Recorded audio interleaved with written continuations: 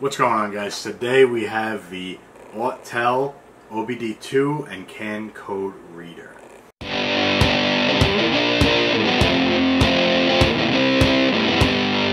guys, welcome back to the Rev Room. I'm Mike. If you guys are new here, please consider hitting that subscribe button. We have new videos every Monday, Wednesday, and Friday. Jumping right into this, the Autel brand I've used before. I haven't used this particular set device before. I had the older model. I don't remember the exact number, but this is the AutoLink AL319.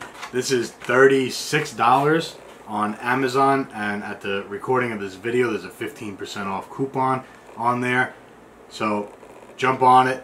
It is definitely a good unit. Just wanted to run through how to actually use this. So once you plug this into the car, um, make sure you can only put it in one way, but um, plug it into the car, turn the car on, and the device will turn on. It uses the power from the car.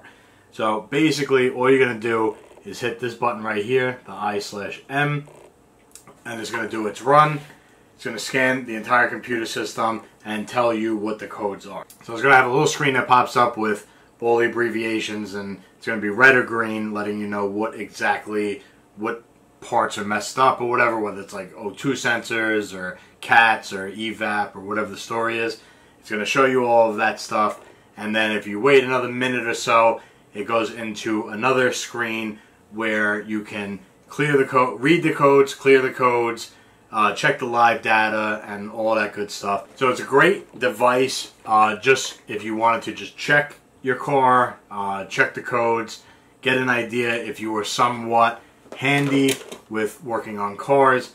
At least you can read what the code is and Google it, find out what part you need, and decide whether or not you want to try and fix it yourself or if you just bring it to a mechanic. If you're not handy at all, this tool kind of is useless to you, but you still have the option to reset your check engine light if you're just trying to pass inspection and not actually trying to, you know, work on your car like it's intended to. That's basically the run through of this device. So if you guys are interested, I could definitely recommend the brand Autel.